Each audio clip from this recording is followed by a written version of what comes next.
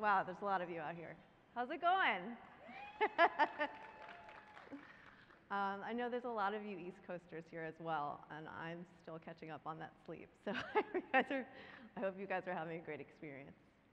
Uh, so my name is Sara. Um, I'm here from New York. I have been a software developer for 17 years. Um, it's longer than some of the people on stage today have been alive. Um, big thanks to the folks at Red Hat for letting us come and tell you a little bit about JewelBots. So without further ado, I'm going to do exactly that. Okay, so today we're going to do a few things. First, I'm going to tell you why we built JewelBots and why we think it's a really important technology. Um, I'm going to show you some amazing magic. And then we're going to have one of the JewelBots experts come as a special guest and talk to you more about the deep technology behind what we're building. So show of hands in the audience. Who here was under 18 years old when they started coding? It's hard for me to see you guys. Yep, look around. I'd have to say at least 50% of you have your hands up. All right, keep your hand up if you were under 15 when you started coding. I think more hands up just went there. I, don't, I don't know how that math works, but awesome. Okay, great. Yeah, a little of, I think about half of you, half of you have your hands up. That's really neat. Um, I've done a bunch of informal polls on the internet about this. I found that probably about two-thirds of professional coders were under 18 when they started coding. Um, I myself was 11. I was a homeschooled kid so a little weird. I'm part of the generation, and some of you may be as well, is uh, the reason we became coders is because we were lonely, not because we made a lot of money. um, so I was 11, and this is before the internet was a thing, and we had these things called BBSs, and you would call up someone else's computer in your town, and you would hang out with people and chat with them um, and play role-playing games with them. It didn't have to be your town, but if it wasn't, your mom would yell at you for long distance fees. Um, and uh, I got really excited about computers and coding because of the community that I found online. Okay, so this is sometimes the most controversial part of this presentation. I promise you that they dominate our lives in many ways, even if you don't, even, if you don't even know a 9 to 14 year old girl um, even if you just see them on the street sometimes, they are deciding what you and I do on a regular basis. Hear me out for a second here. So, who here knows who this guy is? Okay, you don't have to raise your hands, but I think most people know who this guy is, right? So, this guy used to be this guy. And then teenage girls were like, I think this guy has some talent to him. I think that he's got a future. And now he's a huge celebrity today. What about this guy? Just got his first Oscar, you know, just kind of starting out. Well, this guy used to be this guy. And I am proud to tell you that I am one of the many girls that discovered him and decided this guy has a future. All right, raise your hand if you listen to Taylor Swift. Just kidding. I won't make you do it, but awesome. A lot of people are putting their hands up. That's great. so, um, Taylor Swift we listen to Taylor Swift because these girls discovered Taylor Swift. It wasn't a 35 year old that was like, hmm, this Taylor Swift is pretty neat. Um, no one cares what we think. But even bigger than that, these huge unicorns that all of us, some of us work for, some of us wish we invented, these were discovered by young teenage girls. No one is checking to see what apps we're using. They're finding new communities in these, in, in these platforms and saying, this is how I want to commune with my friends. Things like Instagram, Snapchat, and Musical.ly all start with this demographic, and then we get our cues from them. If you don't know what Musical.ly is, I promise you, ask your nearest 9 to 14 year old friend. If you don't do that, you'll hear about it in a few years. But this demographic, their futures are all at risk. Everyone here knows how much the field of software development is growing and how important technical literacy is to the future of our youth. However, just 18% of computer science graduates are girls. just 19% of AP Computer Science test takers, and just 15% of Google's tech force identify as female. So we decided to do something about that. We were inspired by platforms like MySpace and GeoCities, um, things like Neopets and Minecraft, all places where kids find something they love and they're like, okay, to make this better, all I have to do is learn how to code. I can totally do that. Um, so we wanted to do that. So we talked to 200 girls. We went to schools, we sat down with them, and we were like, what makes you tick? What are you excited about? And what we heard from them over and over again is their friends. Their friends and their community are pivotal to them at this time in their lives. So when we started talking to them about a smart friendship bracelet, that's when they started really freaking out. Um, so we built JewelBots, and JewelBots uh, has an active online community um, where girls can work together, share code that they've built, and learn from each other, help each other troubleshoot sometimes.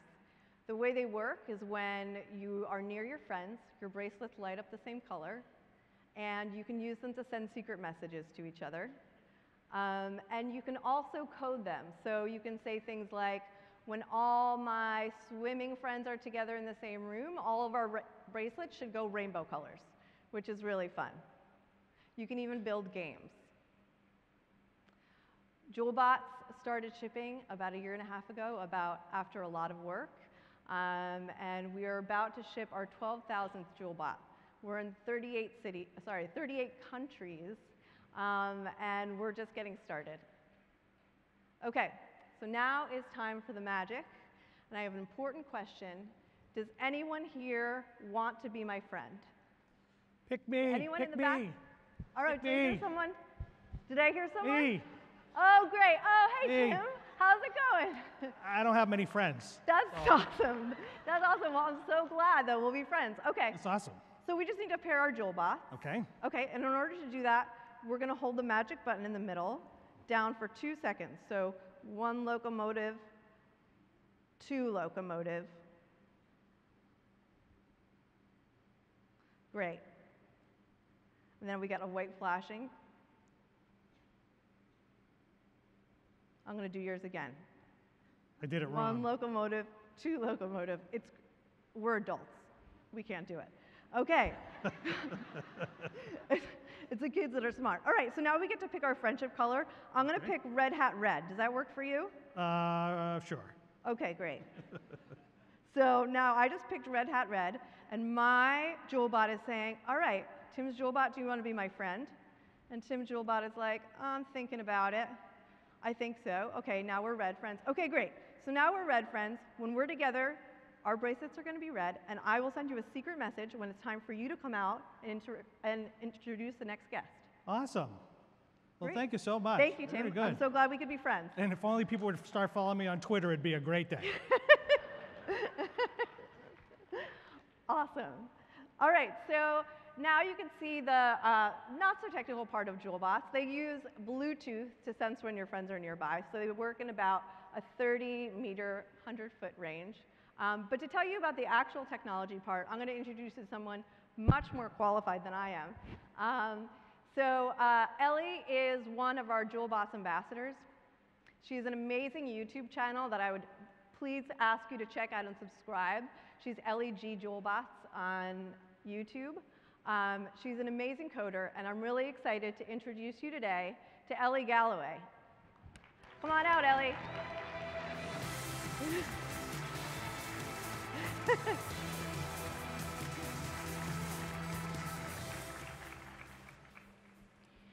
Hello, my name is Ellie Galloway. I'm going to show you how I got coding and then show you some coding in action.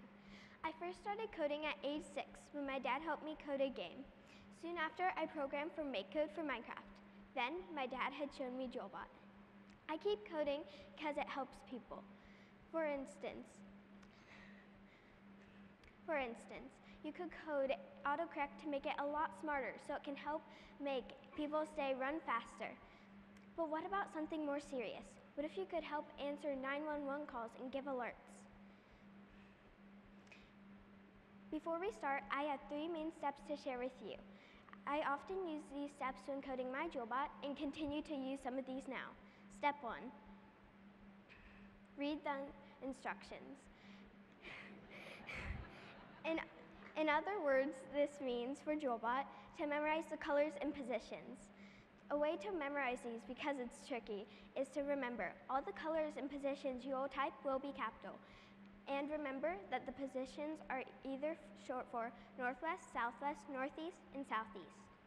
Step 2. Learn the basic codes. When it comes to coding, you need to work your way up. Step 3. Discover. Feel free to discover once you mastered everything. Now let's get to coding. Let's use our, let's first use combining lights. So under void loop, I'm going to put LED dot turn on single SW and blue. And before we make sure that this works, we gotta put LED, LED. Okay, now let's type this again. LED dot turn on single. Now let's do SW green. Now we have our first sketch. So let's explain what this means. LED LED is a function that to control the LED lights. LED turn on single SW blue tells the SW light to turn blue, and green flashes so quickly with the blue it creates aqua. Now let's do another code. Let's I'm going to use a more advanced command to make a custom color using RGB. Let's use a soft pink using 255, 105, and 180. Now let's type this in the button press function. So let's do LED, LED, LED dot set light. And now we can do, let's do position 3, 255, 105, and 180.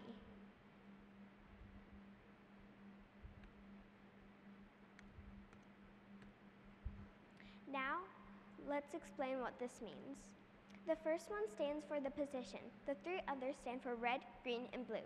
RGBs can only go up to 255, but there are 256 levels.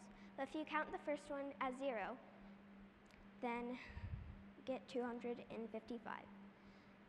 So let's first, before we move on, let's show how this works. So this is it before.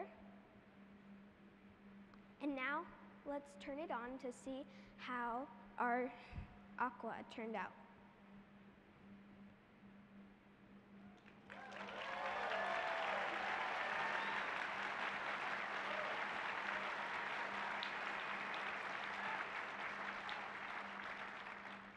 Now let's see how our RGB light turned out. So we are looking for a soft pink, so let's see how it looks.